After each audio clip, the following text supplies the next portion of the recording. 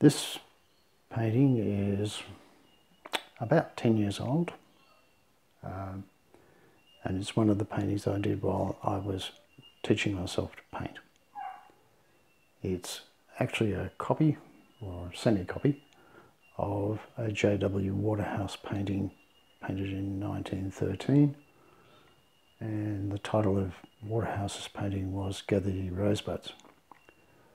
Uh, what I've done here is produced a painting at the same scale but I've used a different head on the painting and I've used the same brush technique and the same colouring as far as I, I could.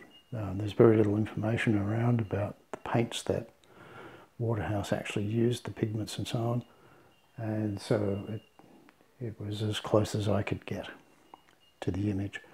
Uh, I'm a bit of a, an enthusiast for Waterhouse. Uh, I went to the 2009 exhibition in Groningen in the Netherlands, which for me is like travelling 18,000 kilometres to go and see a painting.